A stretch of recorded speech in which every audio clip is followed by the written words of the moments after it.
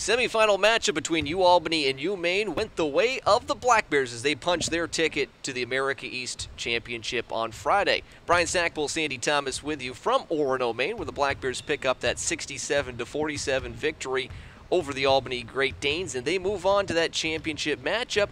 As we get a chance to look at the America East brackets here, as with one ticket already punched, UMaine moves forward, and they will be hosting that matchup, as we alluded to, Sandy, on Friday, March 12th 5 p.m. Eastern Time right here in Orono on ESPNU as they'll await their opponent in either UMass Lowell, the number three seed, or number two seeded Stony Brook Seawolves.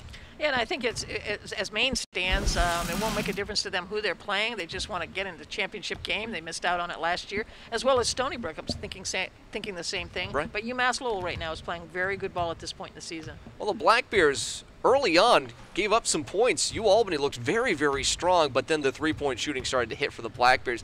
Along the way, Maine started to really find their form, working good mix of inside and out.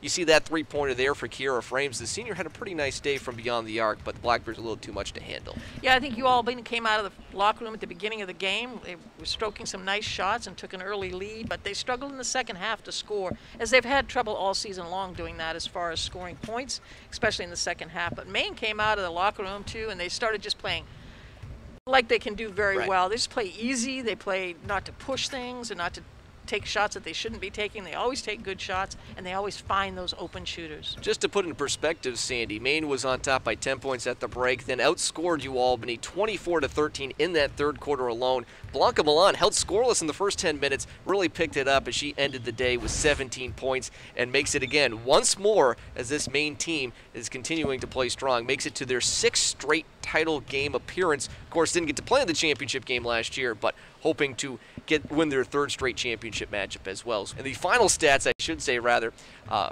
a lot of shots being taken by Maine, and the turnovers really sticking out to me for you, Albany. Well, to see that they scored 33 points on three-point shots, and mm. they stayed with Albany. They did a good job staying with them on the rebounds situation. And, the, and what they did, too, is they took those rebounds and they scored off those rebounds. But 22 assists. Uh, that's just amazing. And that's part of their offense as far as getting it down low, making you double down on them, and kicking it out to those three point shooters.